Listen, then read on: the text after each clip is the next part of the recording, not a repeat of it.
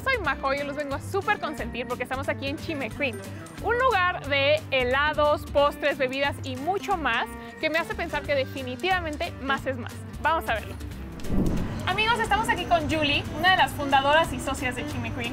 Y primero que nada me gustaría preguntarte, ¿de dónde nace este concepto? Claro, Majo. Pues mira, en sí fue un cambio de negocio desde la pandemia. Tuvimos que idear un poquito pues nuestras posibilidades porque ya sabes, a todos en pandemia nos fue pero fatal. Entonces tuvimos que investigar un poquito cómo podíamos cambiar nuestro negocio para que pues estuviéramos estables, felices y pues contentos con nuestro negocio que pudiéramos tener.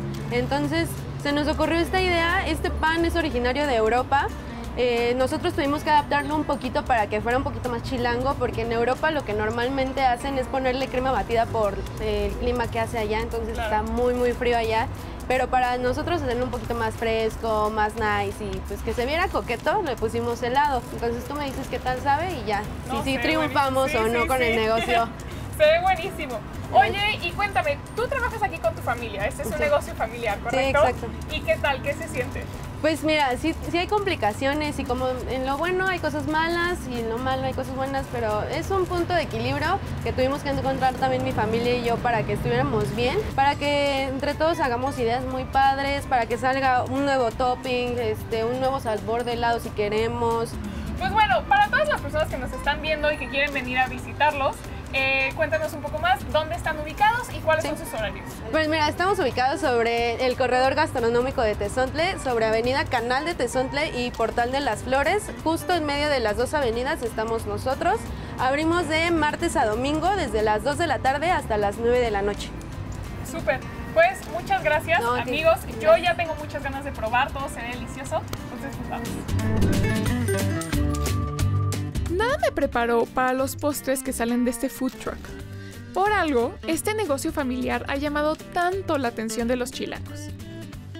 Este pan europeo ha ganado popularidad en México en los años recientes. Tiene una textura suave y un toque ligeramente ácido que se balancea perfecto con las coberturas dulces. Tuve la fortuna de entrar a la cocina a que Isra, el panadero de Chime Cream, me enseñara a preparar estos manjares. Déjenme les digo que tiene su chiste. Primero se estira, luego se aplana, se enrolla, se cubre en azúcar y por último, lo que le da ese toque único es que se cocina las brasas. Este paso es el más importante ya que ese sabor ahumado tan característico del carbón le aporta una profundidad exquisita. Del pan nos pasamos al armado del cono. Se puede escoger desde algo intenso y goloso, como una crema de avellana, hasta algo un poco más sencillo, como una jalea. Se rellena con fruta, se le pone helado y para terminarlo hay una variedad de toppings que hacen que una dulcería promedio se quede corta.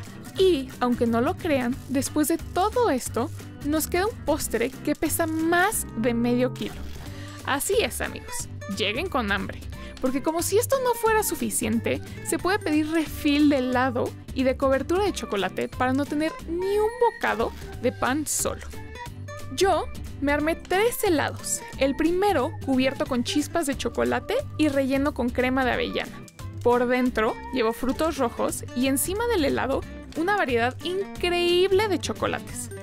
La combinación fue intensa, pero el helado suave y la fruta fresca balanceó a la perfección todos los sabores. El segundo lo pedí cubierto de coco y adentro crema pastelera, mermelada de moras, uvas y durazno, con cobertura de chocolate encima y por supuesto más chocolates.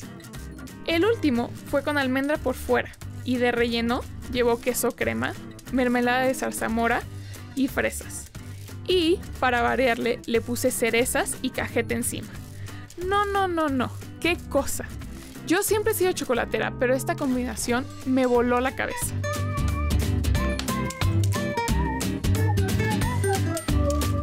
Y pues ya saben cómo dice, panza llena, corazón contento. Muchas gracias por acompañarme en otra gastroaventura. Yo soy Majo y nos vemos a la próxima.